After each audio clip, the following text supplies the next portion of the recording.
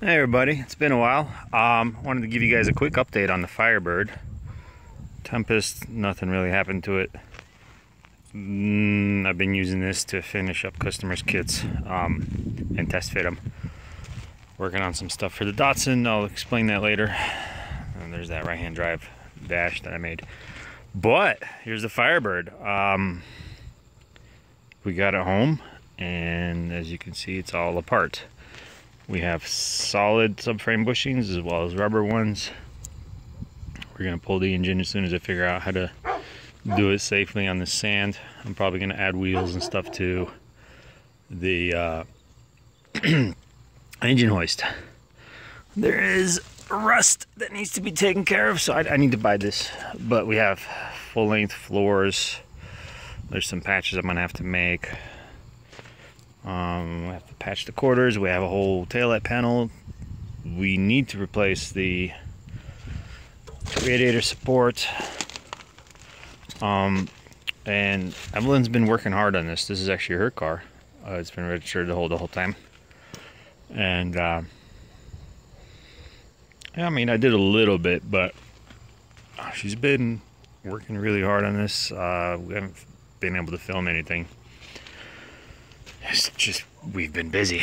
But as you can see there's a substantial amount of damage on the subframe itself. That needs to be replaced. Uh, the floors you know from here they may look solid. That's because we patched them a long time ago with 16 gauge. Um, but they're actually really bad well, you can't see it, but they're to be replaced. This quarter panel that was uh, reskinned using flux core maybe six, seven years ago. Seven years ago. Eight years ago, even. Um, I'm, I don't know, I might redo them again or I might make patch panels. This entire panel is going to be replaced. Uh, it already exists see this. Let's fix that. I'm gonna have to replace the trunk floor. This car has been through quite a bit.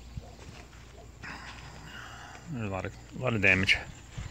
Uh, but it's served us well and we're not going to just throw it away. Another kind of exciting thing is I'm going to try to do an IRS for the back. Um, build a cradle of sorts that'll let you use the Super 8.8 that I use for the Datsuns. And those are incredible differentials. They've been as fast as 7.8 at 175 in a heavy Mustang, so they can take a lot. Um, so what I'm thinking of doing is using the factory control arms, but a narrowed subframe kind of deal that'll keep the Camaro slash Firebird track width and bolt in so you don't have to hack up the frame rails. If I could pull it off, um, then it'll allow people to use aftermarket control arms, etc. because only the cradle will be custom, but the control arms will be factory, which means anything that works factory will also work with aftermarket. Because then I don't have to to design aftermarket stuff. There's a lot of people that are doing that already, so that'll open up some options uh, and keep costs down.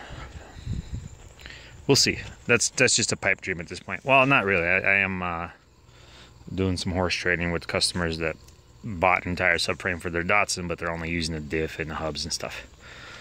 I'm gonna have to patch this. Oh boy. So yeah, it's a little five minute update. Um, it's life's been life's been pretty interesting. Hopefully everybody's out there staying safe so are we. We're enjoying the desert. So we're just keeping busy. As soon as uh, I've caught up on the orders for the Datsun stuff, I do plan on making a few videos, a little more progress, and uh, I'm I'm personally blown away by how much work Evelyn was has done with this. Uh, she threw herself at it and has been working very hard.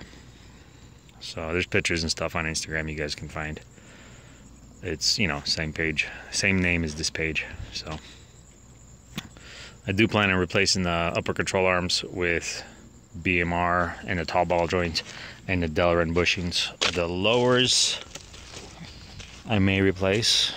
Uh, just the uppers are there's an improvement in geometry. If you replace the uppers, the lowers will either get rebuilt and boxed or replaced too. Because the bushings are gone, just like the body bushings are too. This thing was long due for an overhaul, so it, uh, it'll get the proper work. Subframe connectors are definitely happening. Um, yeah, there's quite a bit that's going to go on here. And then I got to deal with the oil pressure issue, pull the engine, see what's going on. Lots to do. Well, stay safe out there, guys, and I'll keep you guys updated uh, as soon as I can.